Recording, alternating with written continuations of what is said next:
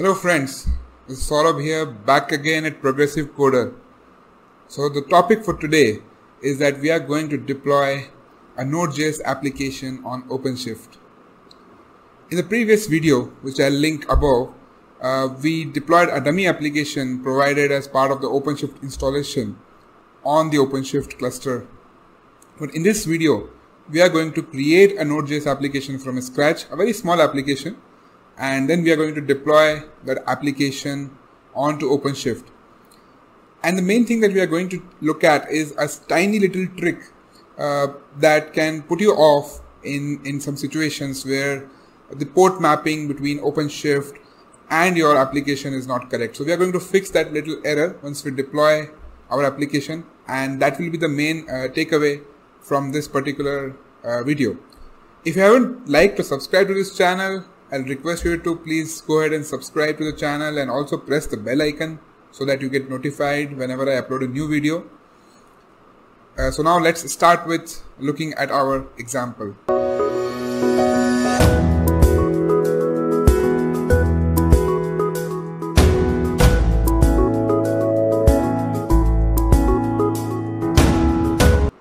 Alright, so what we are going to do in this video is that we will be creating a Node.js application a small Node.js application and we are going to deploy that application on our project.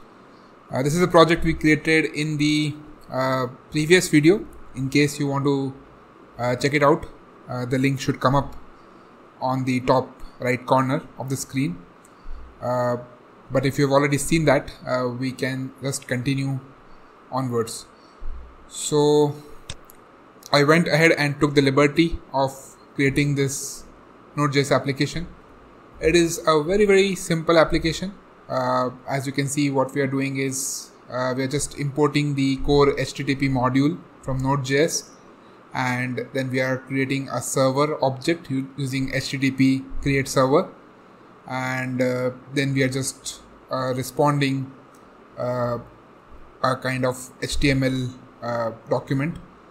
we are just putting a hello world message within h1 tag and just sending it back. Uh, and the idea is that whenever our uh, particular you know application is hit by a user they will be getting this particular hello world message uh, returned back to them. And if we are going to call this from a browser the html that we are returning will be rendered. Finally we have a server listen statement where we are listening to port 8000 so just keep a note of this port number 8000 and uh, I'm going to show how this can create a little bit of an issue in OpenShift uh, when we first deploy it and how can we fix that. So this is the application which we have created and it has only one file index.js and then we have a package.json which is having some boilerplate uh, stuff. The important thing here is to have this start script. So start script says uh, that we will be running node index.js. So whenever OpenShift tries to deploy a Node.js application, it will look into this package.json file of your source code and uh, and try to find the start uh, command which it has to which will basically bring your application up so this is very important uh, before you try and deploy an application. Alright so now that our source code is ready uh, we need to put this source code on a on a github repository. Uh, because OpenShift for deploying to OpenShift you need to have a GitHub repo. Uh, so we can so what I have done is I've already created a GitHub repository OpenShift Node.js app. And if you see over here uh, we have the index.js file with our uh, HTTP server code. And uh, then we have the package.json both have been committed to this github repo. And don't worry about the uh, link to this. I will put the link to this github repository in the description for this video in case you want to use the same source code for your trials so once our source code is committed uh, we can uh, just copy uh, the re repository URL and then come over to the OpenShift web console. And then we can go to browse catalog select node.js and then click on next.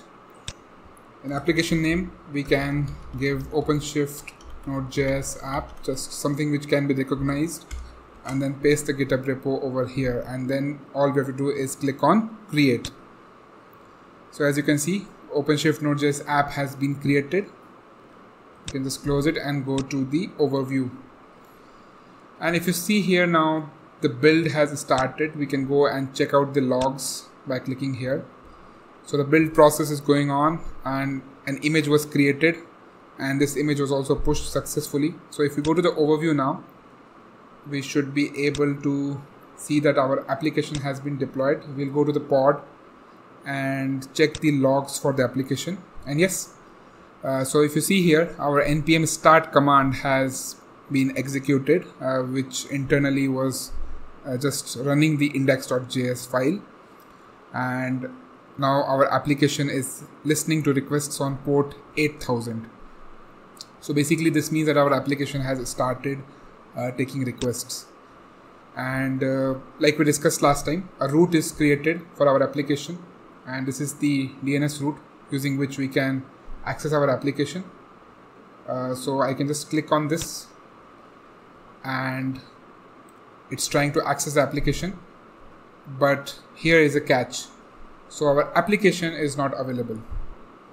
So what could be the reason for this? So our application is clearly showing up on the pod level. So the container is basically running our application but we are not able to access it uh, from the DNS route uh, so for this I if you remember I just said note down the port number 8000 uh, so what happens by default is that whenever we create an application OpenShift tries to deploy it on port 8080. So a web application is typically deployed on 8080 if it is an HTTP uh, application. Uh, and that is the mapping that OpenShift tries to access it on. But on our container level, the application is running on port 8000. But OpenShift is trying to uh, point this particular route and the internal service on port 8080. So what we have to do to fix this is change the mapping in the service. So the service is nothing but a Kubernetes service. We'll click on this link over here.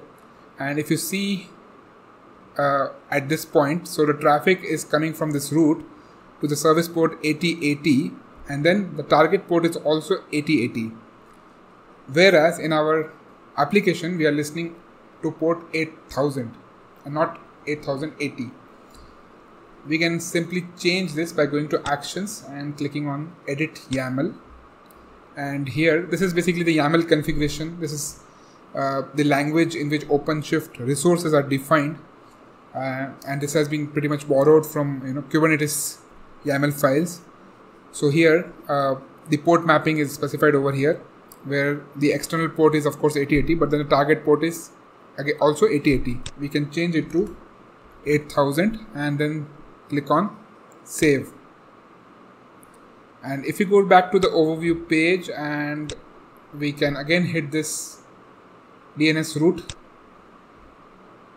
And yes this time our HTML code which we were returning is being rendered. Um, it was a h1 tag as we saw. So it is being rendered uh, in that format in our browser. Uh, let's verify. In our index.js we are saying hello world from OpenShift Node.js app. And the same thing is being shown over here hello world from OpenShift Node.js app. So in this way uh, our application is now up and running in OpenShift and the important thing to learn and take away from here is to be careful about these service mappings uh, and also the start command. So both of the things we have taken care and that is why our application is running successfully. So this is all what we'll cover in this video. Uh, we are going to look at more features of OpenShift in the coming videos. If you liked this video, uh, please do subscribe to the channel as well as uh, press the bell icon so that whenever I upload a new video, you get notified by YouTube instantly. Uh, till then, have a nice day everyone. Goodbye.